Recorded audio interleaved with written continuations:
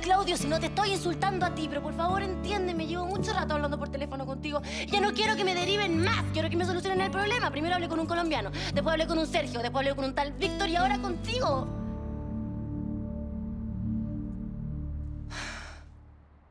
Target TV, buenas tardes. Mi nombre es Francisco. ¿En qué puedo ayudarlo?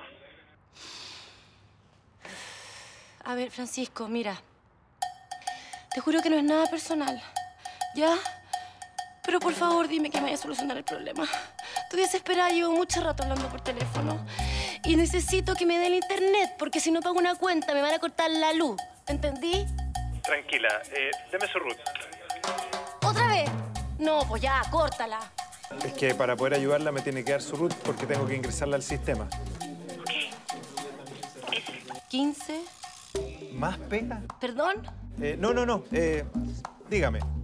Ver, ¿sabes que Ya, no te voy a dar ningún dato más. Por favor, solucioname el problema, ¿ya?